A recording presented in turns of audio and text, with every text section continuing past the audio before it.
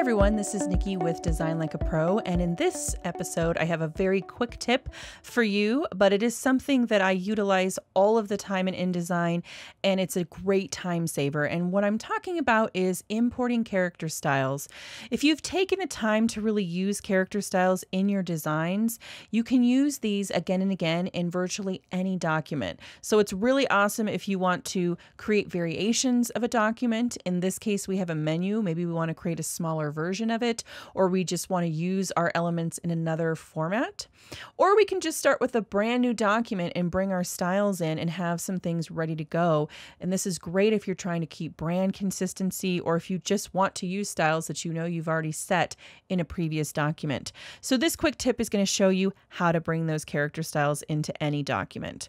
So once you've gone through the effort of setting them up, you can see here in my menu, I have three. I have an item title, a description, and a price. And you can see in the menu where they're applied here, we've got different styles, colors, fonts, all happening within here. And if we double click one of them and go to basic character formats, we can see what we're trying to style. I do advise that you give them a name that makes sense. It's going to help you relate, especially as you're working between documents. But once you have this, you're going to go ahead and save your InDesign file so to, that you have an InDesign file to work from.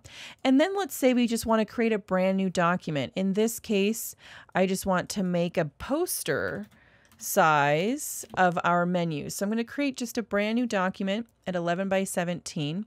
And you can see here that we don't have anything it's a clean slate. We don't have anything to work from, but we want to bring those character styles in from our menu. So to do that, we're going to come over here to this menu, load character styles, navigating to our InDesign document that we want to bring in. We're going to hit open. And a neat thing that InDesign does is it does allow you to choose to bring in all of the styles or just any ones that you would like to. So you can deselect any styles you do not want to bring in or you can leave them all checked if you'd like to bring everything in. In this case, I'm going to bring it all in and hit OK. And then you can see if I open this up that it is exactly the same as our previous document. And that is the beauty of this feature. So if you're taking the time to really use character styles, this is an awesome way to be able to bring in any InDesign document into a new document. Now, keep in mind that that same feature can apply to a document that you already have. So you can do the same thing when you have character styles and bring in another InDesign document. And what would happen is you'd continue to see new styles applied. So it could go both ways. It can go in a place where you already have character styles set or you can start fresh and bring in a set of character styles.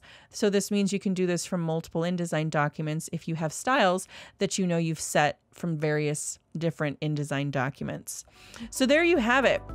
A quick way to bring character styles into any document you may be working on.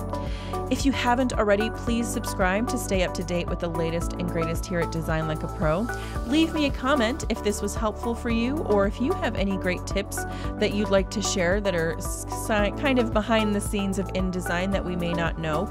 If you have questions, I definitely do my best to answer them in the comments as well. I want to thank you so much for watching, and I will see you in the next episode.